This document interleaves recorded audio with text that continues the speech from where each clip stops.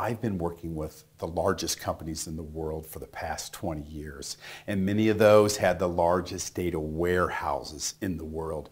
It's big data, and nothing's more exciting than big data. Some people say, well, I've worked with small data, and you just do a little math, and it's maybe twice as big or three times as big. What's the big deal? It's a huge deal. Big data is much different than smaller data. If you're taking this course, you're probably having the opportunity of a lifetime right in front of you. So take advantage of this.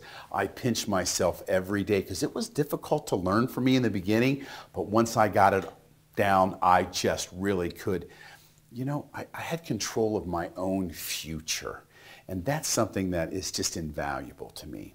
Now, here is a way to take big data and make things much faster. Now, we're joining from the employee table to the department table. There aren't that many rows. This isn't what I would qualify as big data. But imagine if I join two tables that have 10 million rows with 10 billion rows. That could take 40 hours. It could take 20 hours. It could take an hour depending on the system and the size. But let's face it, that's a lot of work. So what I want you to notice here is we are still joining where E dot e.depno equals D dot d.depno, but we have put an additional and clause in here and said, and I want to see where the department name from the department table is like market, which is going to be marketing. So what the systems are going to do is they're not going to say, let's join those zillions of rows together and then pull out the marketing stuff. They're going to go, no, go to the department table.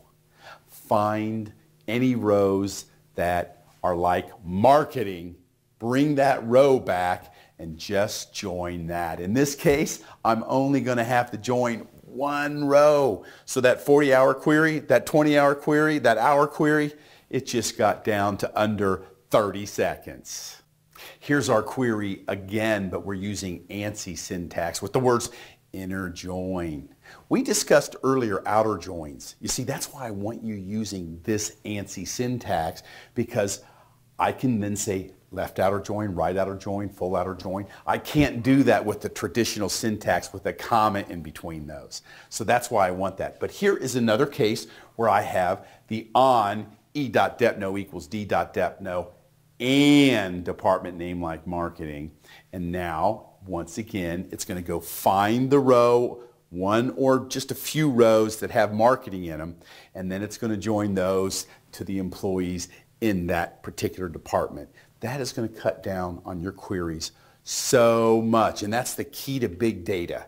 There's nothing wrong with doing a full table scan if you're really after the big data and you need that full report, but there's nothing worse than when you really don't need all that information and you've taken that 20 hours to run that query to go, I found the person in marketing.